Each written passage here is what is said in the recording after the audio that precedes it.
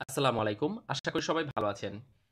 আজকের ভিডিওতে আমরা থিওরি অফ স্ট্রাকচারের একটি গাণিতিক সমস্যার সমাধান করব।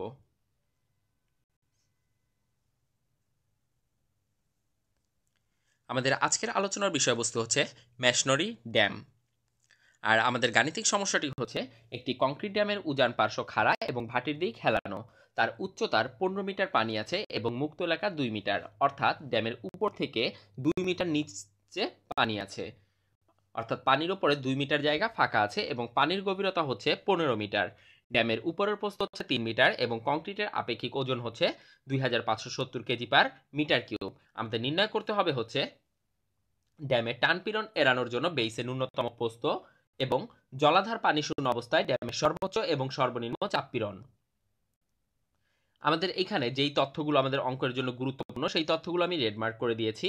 তো আমাদের যেই তথ্যগুলো দেওয়া আছে সেটা হচ্ছে উপরের প্রস্থ ছোট হাতের এ সমান তিন মিটার দেওয়া আছে, পানির উচ্চতা এইচ সমান পনেরো মিটার, ড্যামের উচ্চতা বড় হাতের এইচ সমান হচ্ছে পানির উচ্চতা প্লাস মুক্ত এলাকার উচ্চতা অর্থাৎ পনেরো প্লাস দুই মিটার হচ্ছে সতেরো মিটার, আর কংক্রিটের আপেক্ষিক ওজন ডাব্লিউ প্রাইম হচ্ছে দুই হাজার পাঁচশো সত্তর কেজি পার মিটার কিউব আমাদের তলার প্রস্থ ছোট হাতের বি বের করতে হবে। প্রথমত হচ্ছে বেইসের প্রস্থ নির্ণয়। বেইসের প্রস্থ নির্ণয়ের জন্য আমরা সূত্রটি ব্যবহার করব হচ্ছে ড্যামের টান পীড়ন বিহীনতার সূত্র। সূত্রটি হচ্ছে B square plus A B minus A square সমান সমান W H cube by W prime বড় হাতের এইচ আমাদের বি এর মান দেয়া বি এর মানটা আমাদের দেয়া নাই, এর মান দেয়া আছে। আর ডাব্লিউর মান হচ্ছে এক হাজার, এটা হচ্ছে পানির একক ওজন এক হাজার metre kg per metre cube. ছোট হাতের এইচ এর মান দেয়া আছে পনেরো ডাব্লিউ প্রাইমের মান দুই হাজার পাঁচশো সত্তর এবং বড় হাতের এইচ হচ্ছে সতেরো। যদি আমরা ক্যালকুলেট করি, তাহলে আসে হচ্ছে B square plus three B minus nine equal right হ্যান্ডের অংশটুকুকে ক্যালকুলেট করলে আসে seventy seven point two five seventy seven point two ফাইভকে right hand থেকে আমরা লেফট হ্যান্ডে নেই। লেফট হ্যান্ডে নিলে এটা মাইনাস চিহ্ন ব্যবহৃত হবে এবং যার ফলে এটাকে হবে হচ্ছে B square plus three B minus eighty six point two five equal zero তো এটা হচ্ছে এবার মিডল টার্মে যাবে। কিন্তু এই অংশটুকুকে আমরা স্বাভাবিক যে মিডল টার্ম আমরা যেভাবে করি, সেভাবে করতে পারব না। এটাকে আমরা ট্রেল অ্যান্ড ইরোর পদ্ধতিটা ব্যবহার করব। ব্যবহার করে এটার উত্তরটা বের করব। এটার উত্তর হবে হচ্ছে বি সমান সমান সেভেন পয়েন্ট নাইন জিরো এখন আপনারা ট্রেল অ্যান্ড ইরোর পদ্ধতিটা আসলে ব্যবহার করবেন কীভাবে? তো এটা ব্যবহার করার জন্য আমরা সাইন্টিফিক ক্যালকুলেটরের প্রথমত মুডে যাব। মুড অংশটা হচ্ছে আপনার অন বাটনের পাশেই আছে। অন বাটনের পাশে হচ্ছে মুড বাটন মুড বাটন থেকে আমরা ইকিউ এনে যাব। মুড বাটনটাকে যদি আপনি তিনবার ক্লিক করেন, তাহলে ইকিউএন পাবেন। ইকিউএন প্রথমেই আছে ইকিউএন এর নিচে ওয়ান আছে। আপনি ওয়ানটাকে প্রেস করবেন। এরপর আসবে হচ্ছে ওখানে আননোন আননোন আসার পরে মাঝে যে ক্যালকুলেটর মাঝের যে কপি বা রিপ্লে বাটনটা আছে, সেখানে রাইটের সাইডে ক্লিক করবেন। রাইট সাইডে ক্লিক করলে আসবে ডিগ্রি এবং ডিগ্রির ওখানে টু এবং থ্রি লেখা আছে, আপনি টুতে ক্লিক করবেন। টুতে ক্লিক করার পরে আপনার আসবে হচ্ছে এ হোয়াট অর্থাৎ এর মান কত? এরপর নেক্সটে আসবে বি হোয়াট এরপর আসবে হচ্ছে সি হোয়াট? তো এই ক্ষেত্রে হচ্ছে আমাদের স্ট্যান্ডার্ড যে সমীকরণ, আমাদের স্ট্যান্ডার্ড সমীকরণ হচ্ছে X A square plus X B plus C equal হচ্ছে জিরো। তো এইখানে আমরা এ, এই এক্সগুলো হচ্ছে আমাদের মান, ধ্রুবক মান। তো আমরা প্রথমত হচ্ছে এ সমান সমান ধরবো হচ্ছে এখানে বি স্কোয়ারের সাথে কত আছে? বি স্কোয়ারের সাথে হচ্ছে ওয়ান। সুতরাং এ সমান আমরা ধরবো হচ্ছে ওয়ান। এরপর মাঝের যে বি আছে, মাঝের বি এর সাথে যেটা আছে, সেটাকে ধরবো হচ্ছে বি মাঝের বি এর সাথে আছে আমাদের থ্রি তো বি সমান ধরবো হচ্ছে থ্রি এবং সি সমান ধরবো হচ্ছে একেবারে সবার শেষে যেটা আছে। সবার শেষে আছে minus eighty six point two five এটা হচ্ছে আমরা সিতে লিখব। প্রথমে এ এর সমান হোয়াট চিহ্ন আসলে আমরা ওয়ান বসাবো, বসানোর পর ইকুয়াল প্রেস করব।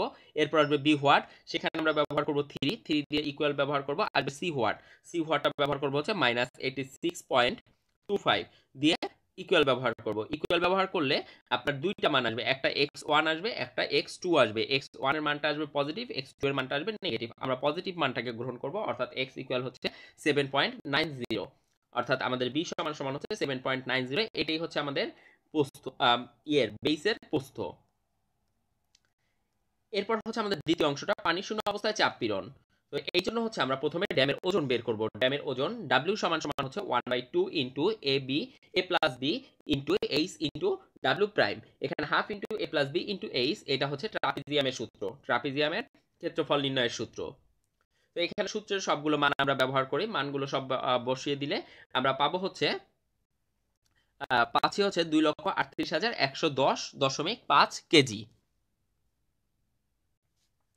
এরপর হচ্ছে টো এবং ভর কেন্দ্রের মধ্যকার দূরত্ব? বড় হাতের এক্স বড় হাতের এক্সের সূত্রটা হচ্ছে A square plus A B plus B square by three A plus B সবগুলো মান আমাদের এ এবং বি মান জানা আছে, মানগুলো আমরা বসাই। বসাইলে পাচ্ছি হচ্ছে two point nine one metre এরপর হচ্ছে বিকেন্দ্রীকরণ দূরত্ব। বিকেন্দ্রীকরণ দূরত্ব ই সমান সমান হচ্ছে capital X minus B by two এখানে মূলত সূত্রটা হচ্ছে capital X plus small S minus B by two তো যেহেতু আমাদের পানি শূন্য অবস্থা বলেছে, সেহেতু আমাদের ছোট হাতের এক্সের কোনো মান নাই। অর্থাৎ ছোট হাতের এক্স হচ্ছে জিরো তো আমরা এখানে বড় হাতের এক্স এবং বি এর মানটা বসাই, বসিয়ে ক্যালকুলেট করলে পাচ্ছি হচ্ছে minus one point zero four এখানে মাইনাসটা আসলে আপনার পুরো অঙ্কটাতে তেমন একটা প্রভাব ফেলবে না। চিত্র আকার ক্ষেত্রে যদি আমি এখানে চিত্র দিয়ে ব্যাখ্যা করতাম, তাহলে সেই ক্ষেত্রে চিত্রের ক্ষেত্রে মাইনাসটা প্রভাব ফেলতো।